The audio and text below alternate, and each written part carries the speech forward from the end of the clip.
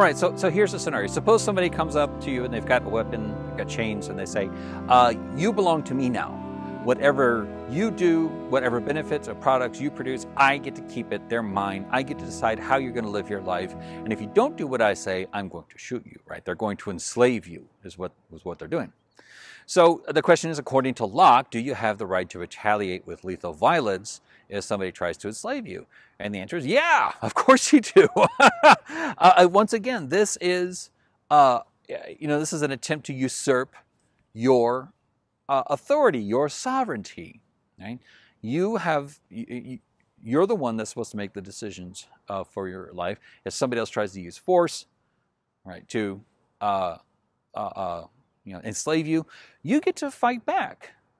Right? You get to fight. You don't have to retaliate with lethal violence. You don't, you don't have to try to you know kill in self-defense, but you have the right to. Right? You have the right to. You're not obligated, but you have the right to, according to Locke.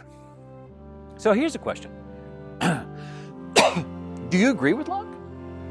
Do you agree with Locke that you have the right to retaliate with lethal violence if somebody uh, tries to enslave you?